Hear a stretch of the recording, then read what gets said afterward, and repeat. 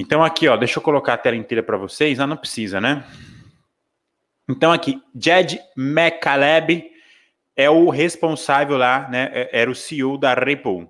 É um dos responsáveis da Ripple. Então, Jed McCaleb imediatamente vende 30 milhões de Ripple após obter 266 milhões, tá? Então, o ex cofundador da Ripple, ele não é mais agora, não sei se saiu da equipe, se foi tirado, mas ele não é. Porém, ele ainda recebe lá a porcentagem dele, tá? Então, o ex-cofundador da Ripple continua a receber XRP anos após deixar, então, a incipiente empresa. Então, a Ripple é uma empresa, tá? E seu dedo ainda está perpetuamente no botão de vender, tá? Então, o ex-dono da Ripple, simplesmente, tudo que ele recebe em Ripple, ele vende, tá? Então, por que que você, meu, meu, meu amigo, você vai querer comprar isso aqui? Se o próprio CEO da empresa está vendendo, não tem nexo, né? O CEO não dá nenhum tipo de. É, é, como que eu posso dizer? O CEO, assim, o, se o CEO está vendendo, por que, que você vai comprar, né? Qual que é o exemplo que ele está dando aqui para o pessoal investidor da Ripple?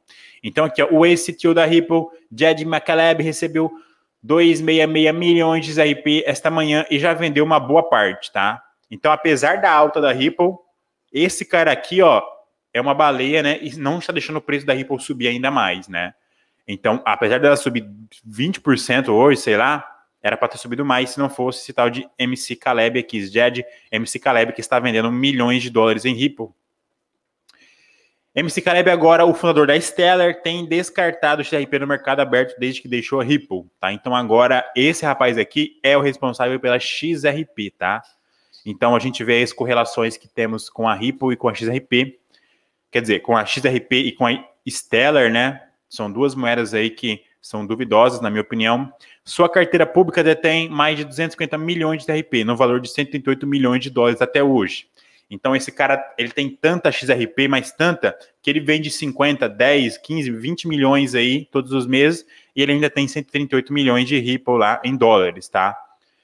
Cara, então é, a gente pode ver a centralização né, massiva aqui da Ripple com esse McCaleb, né, que é o criador, o fundador, o idealizador da Ripple. O cofundador da Stellar, Jed McCaleb, está aproveitando os altos preços da RP enquanto ainda pode. O ACTO da Ripple recebeu mais de 260 milhões no início dessa semana e imediatamente começou a vender, tá? Então, temos aqui a Whale Alert, né, onde é, a gente vê a, a, as transações aí de, de baleias e tal. Então, aqui o McCaleb transferiu lá 148 mil dólares, né, para carteira.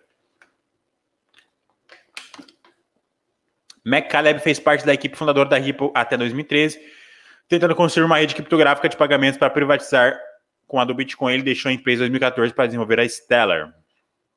Então, a gente vê aí o ex-CTO da Ripple simplesmente vendendo o máximo que ele pode aí de Ripple.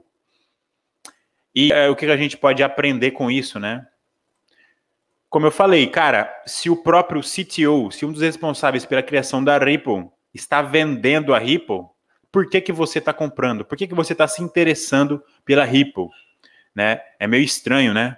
É meio duvidoso. Exatamente, eu também vi essa informação. Então, Isaac Lima, que bem lembrado, o Jed McCaleb era um dos, de, é, é, era um dos 10 homens mais ricos do mundo quando a Ripple fez a ATH, a ATH, acho que 4 dólares, né? 3 dólares, algo do tipo.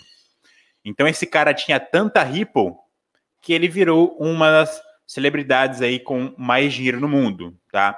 Para quem não sabe, a Ripple, ela foi pré-minerada, né? Então, o desenvolvedor lá, os responsáveis, minerou, minerou um monte dessa moeda. Então, esses caras têm muita moeda, né? Eles vão simplesmente vender a vida inteira Bit, é, é, XRP e vão ter dinheiro a vida inteira, tá? Então, é, é, é complicado, né?